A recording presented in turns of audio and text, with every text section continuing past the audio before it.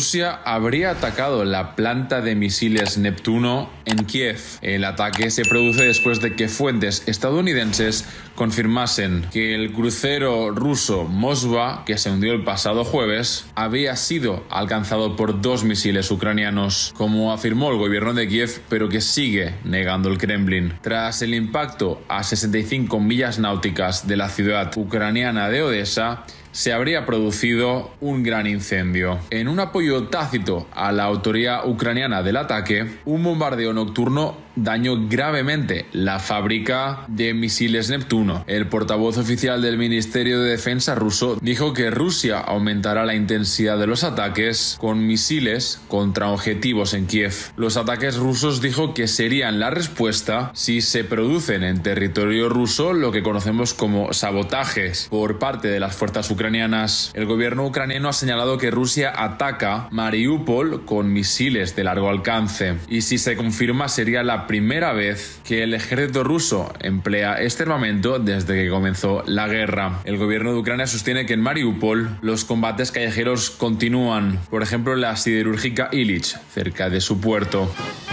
Era el orgullo de Rusia y de su presidente Putin, el buque insignia de la flota del Mar Negro. La prensa moscovita lo llamaba asesino de portaaviones. Ahora el Moskva ya es historia, según el Kremlin, por una explosión de munición a bordo, según Ucrania, por el impacto de uno de sus misiles Neptuno.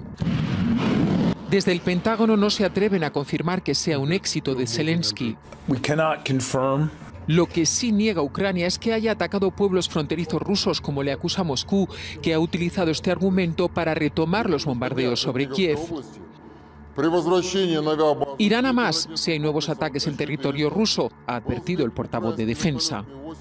Pero por ahora su ejército sigue concentrando todo el esfuerzo en controlar Mariupol, una ciudad arrasada donde hay 120.000 personas atrapadas, y en avanzar sobre el Donbass mientras en localidades liberadas como Bucha recogen pruebas de posibles crímenes de guerra. Según el alcalde, el 85% de los cadáveres tienen impactos de bala.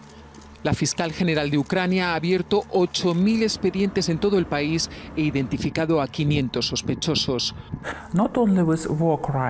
No solo investigamos crímenes de guerra, también crímenes contra la humanidad y genocidio. Y advierte de que con la ayuda de expertos de distintos países del mundo reunirán todas las pruebas posibles para que los culpables reciban su castigo y las víctimas alguna compensación.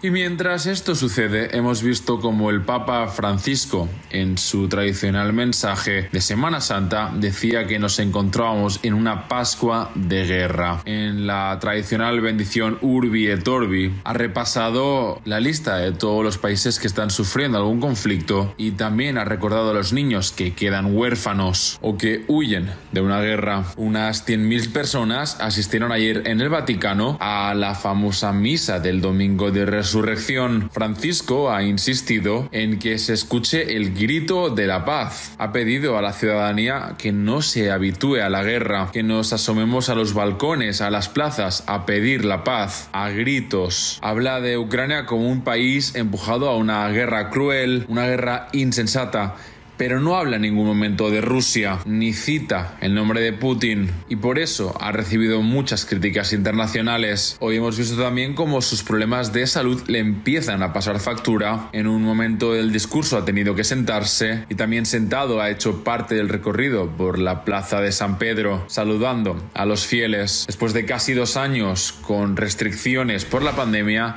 es la primera vez que el Vaticano tiene a tanta gente de nuevo para sus multitudinarios servicios.